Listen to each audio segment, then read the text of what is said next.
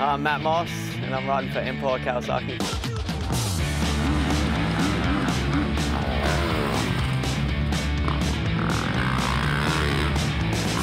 We're here out on a Saturday. Normal teams don't work on a Saturday, so they're out here. I like a real, real aggressive bottom end bike, so we're just trying to get that.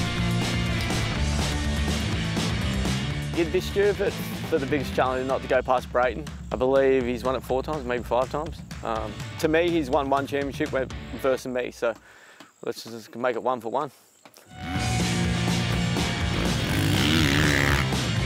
I'm really looking forward to Adelaide Indoor. I haven't done that indoor for, what, eight years now, so I'm excited for that. And when the fans are that close, it's amazing.